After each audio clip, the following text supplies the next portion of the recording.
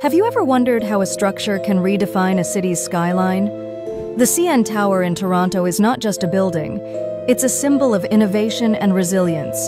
Constructed between 1973 and 1976, this architectural marvel was designed by the architectural firm of Graziani and Corazza, commissioned by Canadian National Railway.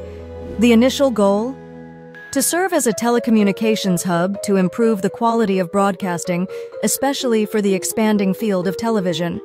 Standing at 553.3 meters, it was the tallest freestanding structure in the world until 2009.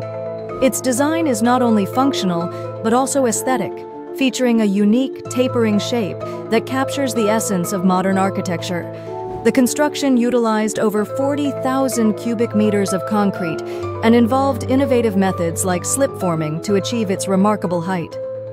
An engineering feat, the tower features a glass floor and a rotating restaurant, catering to millions of visitors each year. Today, the CN Tower remains a beloved landmark that embodies the spirit of Toronto. Are you ready to appreciate the magic of this extraordinary structure? Like and subscribe for more videos.